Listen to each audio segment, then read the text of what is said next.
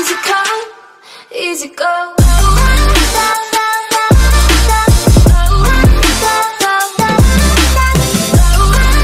Today I'm gonna do wiring of this KK board. So in this video I'm gonna do all these wirings of this KK board. So if you want to watch all the wiring, so please watch whole video and stay tuned with me. Let's start. This is our KK board, KK 2.1.5. So in this video I'm gonna do its wiring. So for doing its wiring, you need this. This is a buzzer. It came with this flight controller. Okay, so you don't need to buy it separately then those those type of the wires those are the wires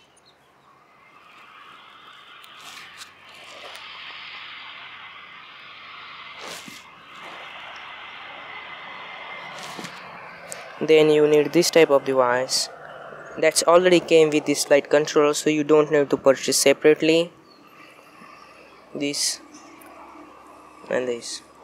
Those are the wires. We need to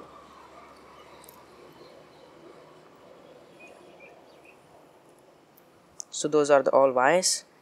This is a buzzer. And this is the receiver. Okay.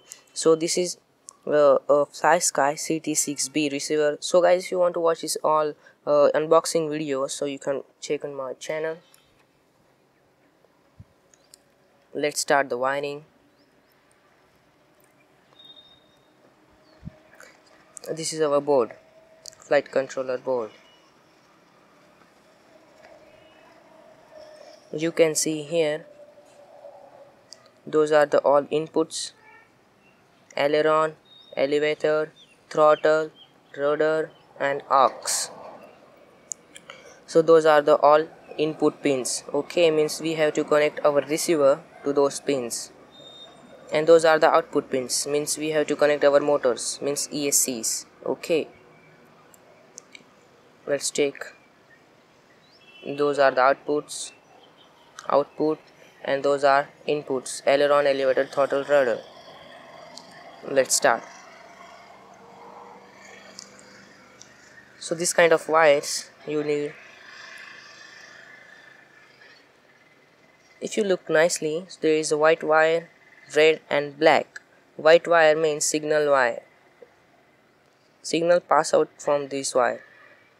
Okay and those two those are the power wires black and red.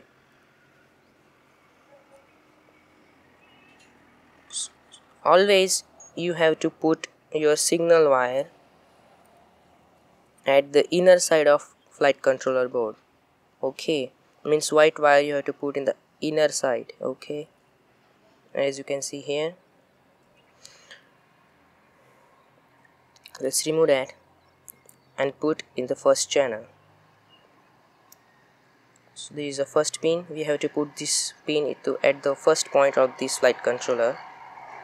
Okay. The first pin then take your receiver and put this pin into first channel of receiver. I put this on the first channel. Okay as you can see this is the first channel. Again there is a signal put in inverse side of this receiver. So those are the pins or are the signal pins. Those all pins are the signal pins. Okay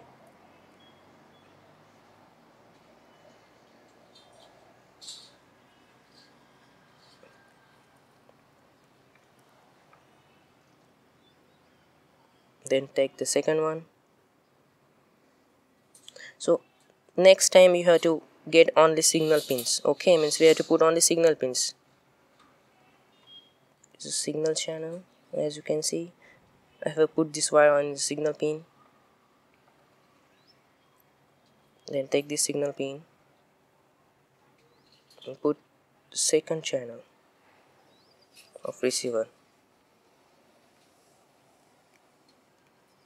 second channel of the flight controller that goes into second channel of receiver. If you notice there is this we can take only signal pins. Okay we don't need now put power pins. Those are the power pins. We have to put it only once.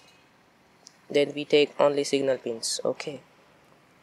So let's take this another one. Let's put in the signal channel.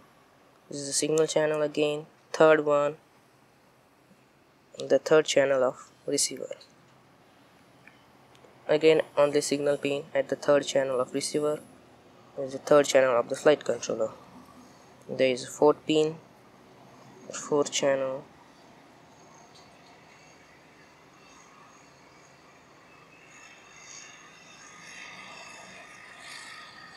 There is a fourth channel of flight controller this pin goes to fourth channel of receiver. Okay that's simple. We connect our all inward pins. Those are the all input pins. This receiver to flight controller. So let's put the output pins. So this is a ESC which is called electronic speed controller. It's used for controlling the speed of brushless motor. Again those are the signal pin.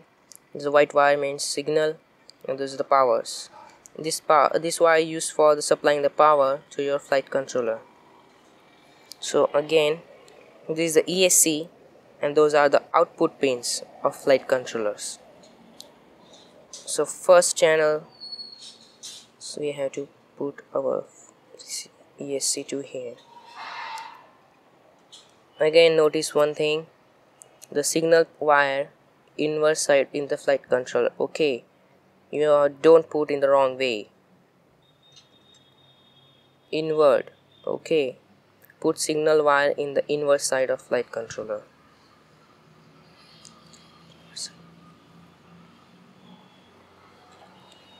then this is our motor. A brushless motor. As you can see there is three outputs. We have to connect our brushless motor to ESC here we go.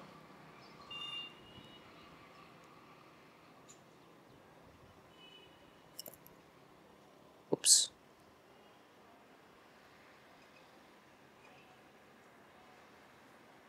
Okay it's ready and the those wires as you can see there is the two wires black and red. So those wires used for the input means we have to connect our battery to those wires. Means it will power on all circuit means it will power on the flight controller then this receiver as well as brushless motors. Okay. And remaining thing this is a buzzer which gone in this side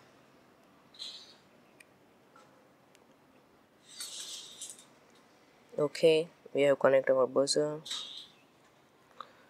so that's simple.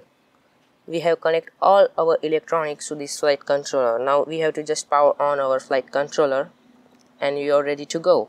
So guys in the next video i'm gonna do its programming video. So if you want to watch those video you can check on my channel. So thanks for watching. If you like the video please subscribe our channel as well as press bell icon for getting notified first when we'll upload the video. And if you want to purchase this flight controller so link available in the description. You can purchase from that link and get more information about this flight controller please check the description. Thanks for watching.